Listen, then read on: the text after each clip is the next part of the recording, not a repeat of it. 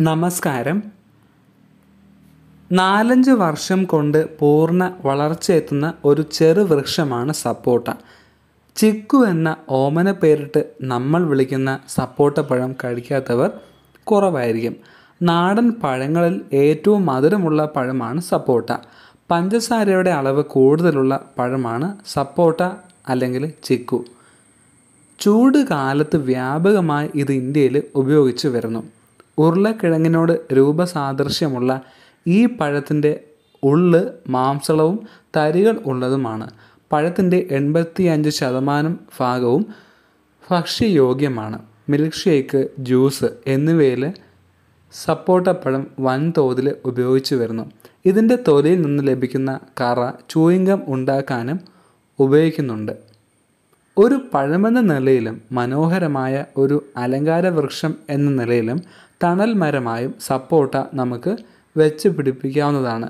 നാലഞ്ച് വർഷം കൊണ്ട് പൂർണ വളർച്ചയെത്തുന്ന ഒരു ചെറുവൃക്ഷമാണ് സപ്പോട്ട. ഇരുപത്തഞ്ച് അടിയോളം ഉയരം വയ്ക്കുന്ന ഈ മരത്തിന് വർഷത്തിൽ രണ്ട് പ്രാവശ്യം ഫലമണിയുന്ന സ്വഭാവമുണ്ട്. വർഷത്തിൽ രണ്ടായിരത്തി അഞ്ഞൂറ് പഴം വരെ ഒരു മരത്തിൽ നിന്ന് ലഭിക്കും. Cricket ball Kirti Bharati Kalipatti Singapore Dwarapudi Guthi Jonnavalasa Bhuripati എന്നിവയാണ് ചില ഇനങ്ങൾ. കർണാടക ആന്ധ്രാപ്രദേശ് തമിഴ്നാട് മഹാരാഷ്ട്ര ഒറീസ മധ്യപ്രദേശ് ഗുജറാത്ത് എന്നീ സംസ്ഥാനങ്ങളിൽ സപ്പോട്ട വാണിജ്യ അടിസ്ഥാനത്തിൽ കൃഷി ചെയ്യുന്നുണ്ട്.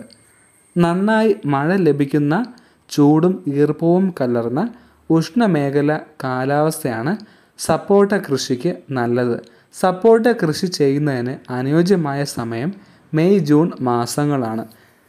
എന്നാൽ കനത്ത മഴക്കാലത്ത് തൈകൾ നടാതിരിക്കുന്നതാണ് നല്ലത്. ഏഴ് മുതൽ എട്ട് മീറ്റർ വലുപ്പത്തിൽ തടങ്ങളെടുത്ത് വലുപ്പത്തിലുള്ള കുഴികളെടുത്ത് വേണം സപ്പോട്ട തൈകൾ നടുവാൻ. തിരഞ്ഞെടുക്കുന്ന ഇനത്തിന്റെ പ്രത്യേകത അനുസരിച്ച് തൈകൾ തമ്മിലുള്ള ഇടയകലം നിശ്ചയിക്കാം.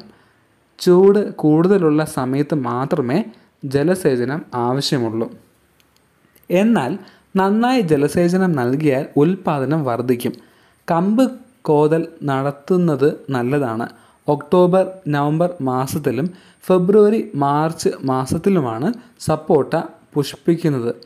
ബഡ് ചെയ്ത സപ്പോട്ടയാണെങ്കിൽ മൂന്ന് വർഷത്തിനുള്ളിൽ കായ്ക്കും. പഴങ്ങൾ മരത്തിൽ നിന്നും നേരിട്ട് പറിച്ച് പഴിപ്പിക്കുകയാണ് പതിവ്. കടലോര മേഖല ആയതിനാൽ കേരളത്തിന്റെ പരിസ്ഥിതിക്ക് അനുയോജ്യമായ ഒരു ഫലവൃക്ഷമാണ് സപ്പോട്ട.